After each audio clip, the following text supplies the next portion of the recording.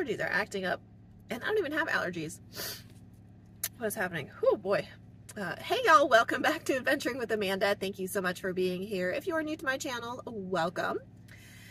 Y'all, um, sometimes it can be very hard to step out of your comfort zone. I've been doing van life for almost four years and there are certain places in different cities, national forests, BLM land that I really like going to, but every now and then you need to find a different spot, right? Um, or if you're going to a new area, you need to be able to find a campsite.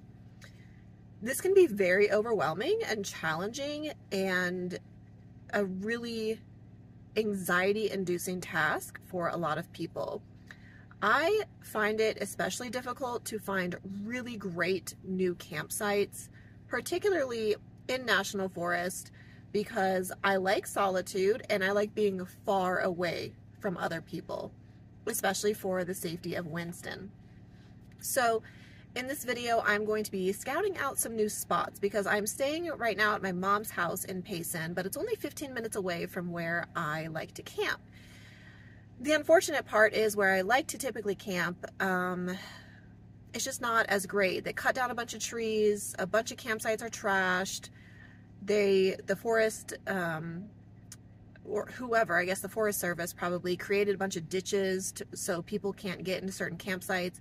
So I'm going to look for some new areas and it can be difficult due to the fact that I need good cell service and I like my solitude let's see what we can find. Um, before we do that, I need to go to the gas station and clean off my windshield because y'all aren't going to be able to see anything. So let's get to it.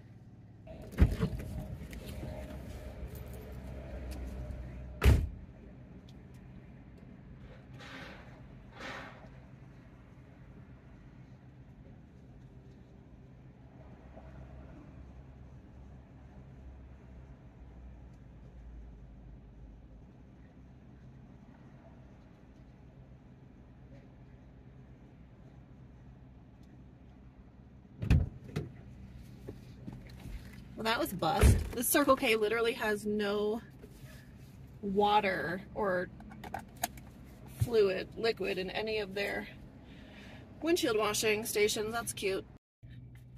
So I ended up having to go to Chevron down the street since I couldn't do my windshield at Circle K. So I figured since I had to go further toward town, because I'm, I'm in Payson right now, sitting in the Bashas' parking lot, um, I needed to just get one gallon of Primo water, so I did that here. There's a Primo water station right between the Bashas' and the Dollar Tree. And then I needed to go to Harbor Freight to get some new tent stakes because like two of mine, one got bent, one, the little orange thing broke off of it. So I was like, I'm gonna go get some tent stakes. And so I did. And I know that Todd has been needing um, the heavy duty tent stakes. So I bought him a pack as well because they were literally on sale for $3. And it's like the, um, the 10 inch steel ones, like super heavy duty. Three bucks at Harbor Freight today, like literally, yes please. So now we can go scout out some campsites. And it's Saturday. Whew, my hair's acting wild. It's Saturday, so I know that the good campsites are probably going to be taken, especially because it's in the 90s in the valley this weekend, so I bet a lot of people came up north. But that's okay if the campsites are taken. I'm not looking to to like camp today. So um I want to camp tomorrow and if for some reason I still can't find a spot, I can wait till Monday because I can just stay at my mom's house. So I'm going to go scout the two apps that I use to find campsites are iOverlander and Campendium. They are both reliable and I've been using iOverlander a lot more lately because I've been finding more spots on it. So iOverlander, Campendium, and then what I like to do is use those as a general spot to go to and just kind of navigate. You can go on Google Maps and look at the satellite maps. And I recommend just going to a spot and like going through the dirt roads, the forest roads, whatever, and just keeping your eyes peeled for a spot. Now, the nice thing about being in a minivan is I can fit in a lot of spaces that big trailers and huge rigs can't fit. So that gives me the advantage, even though I have some uh, very specific parameters set for myself when looking for a spot. So let's get driving. Okay, y'all, so I just got to this forest road. This is new to me.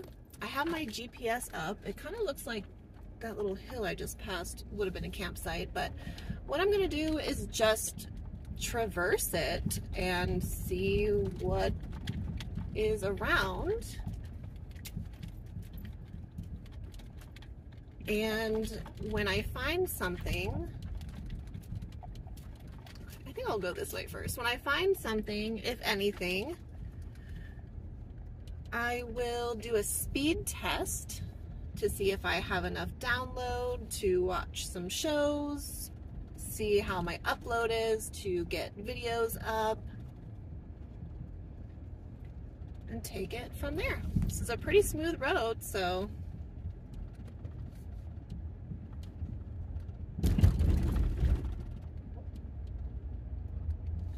there's a specific pin that I'm following, so I will take the road there, but on my way, I'm seeing if there's any other options. The road has been just a little bit rutted, but nothing too crazy. Just kind of got to go around and go slow. Um, I'm pulling up to, it looks like some sort of like roundabout, and there's some fencing over here and signs. I'm just checking it out. Not sure if this is private property or what this is. Oh yeah, it says camping prohibited. The area is, this area is within one quarter mile from water, so camping prohibited. Okay. So, and you know, that's really part of the fun and the scouting is, you know, you have to be open to just doing some exploring, looking out for the signs, looking out for different roads and turns.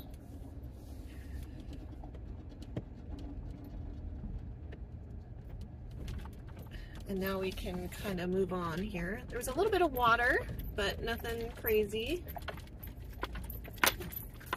What does it say? So 371 is this way. It looks like I can go either way. I'm gonna go this way. Um, this looks like it would be very muddy if it was wet, but it's not. And should be no big deal with my minivan. Just gotta go slow.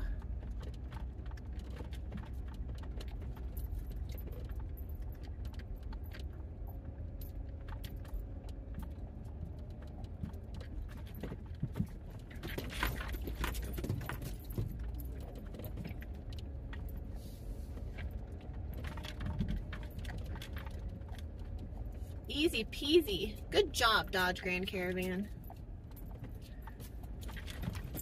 We're getting kind of far back here though, so I'm not sure how cell service will be, but we're about to find out. All right, I just found, I think, quite a bit of open camping. Um, the roads are very bad. oh, here's a little bit of water. The other nice thing is that even when there's water and stuff, I, am so small that I can often go around it. I'm oh, I'm scraping. Those are bushes. Everything's fine, y'all. So this is great. Whoop, all my stuff shaking. It's okay, y'all. It's, it's fine, y'all. okay, this is a great little campsite over here. There's nobody over here. Um, let me just kind of back up here. Actually, this would be a great spot for me and kiddo. You know, and when I'm finding spots too, I'm like, okay, if I'm ha having people camp with me, right? I'm inviting people. It's like, would their rigs be able to get into these spots that I could get into? Um, yeah, so this would be very muddy and very icky but it's dry enough to where nobody's gonna sink. So this is good. I'm going to just stop filming and do a speed test. I'm actually shocked. I just found a ton of camping and nobody's here. Um, I'm very surprised. And I just ran a speed test and I have like 45 down and 10 up, which is fast. It's like more than enough to watch shows and get videos uploaded. So what I do when I find a spot like this is I'm going to save it on my Google Maps for myself. And since I know the cell service is good at this particular location, I can drive around a little bit more to scout out some other spots in case like I come back in a couple days and this one is taken. But this would be an awesome spot for me and friends, honestly. So we will continue on while Wynston snoozes and does not supervise.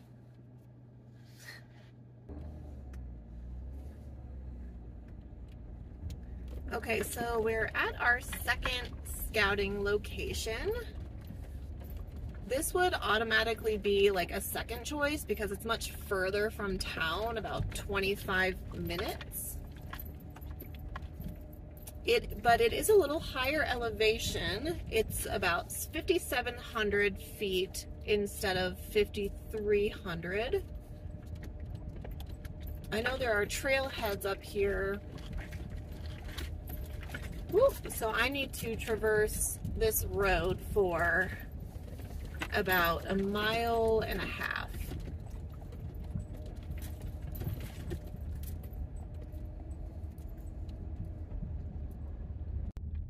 I've seen some other campers. Ooh, I do see a trailer up there. Um, this road has been super rocky and kind of a pain in the ass, I'm not even gonna lie. So I don't really know how interested I am in going further. It's not really giving me the vibe that the other place was, but I'm here and the point is to check it out, right? So I haven't even stopped to do a speed test anywhere. I'm gonna go up about another half a mile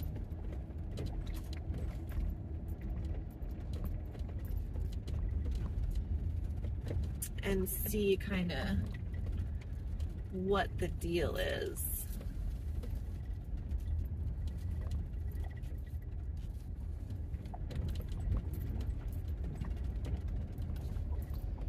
Well, that could be a good campsite down there.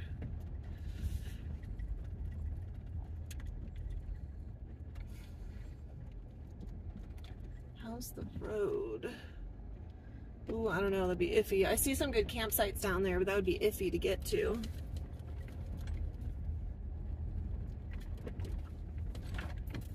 So the cell service here at this second location is surprisingly incredible.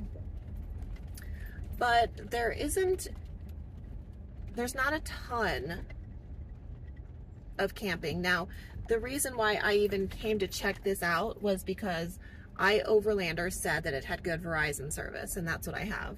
And that person was not lying because it is phenomenal. Oh, this could be a camp spot. Yeah, so there are some spots. The other thing though too about these campsites over here is they are so not level. And I prefer level spots because although I have levelers, I don't really want, I don't like to use them if I don't have to, especially because I like to go into town every few days and to just come back and have to get back on your levelers and like be perfect. It's kind of a pain. But this is a good backup spot. I know it's good service now. So it's an option, but if I can stick with that first place, that would be ideal. I just got back to my mom's after our scouting mission. Wynston and I drove for about an hour and a half and I'm pleased because that first location I went to has a ton of great campsites And that second location I went to is a good backup. And of course, I have the area that I go most of the time, but I'm trying to avoid that. I want to do new things and have an abundance of options. So just remember to use iOverlander, Campendium. Those are my two favorites. Of course, Google Maps is helpful, especially to look at like the satellite terrain, because when you're in National Forest, you can often see in the trees where there are campsites. So that is very helpful. But I hope that overall this video was helpful to you. If it was, be sure to give it a thumbs up. And Wynston and I will see you next time.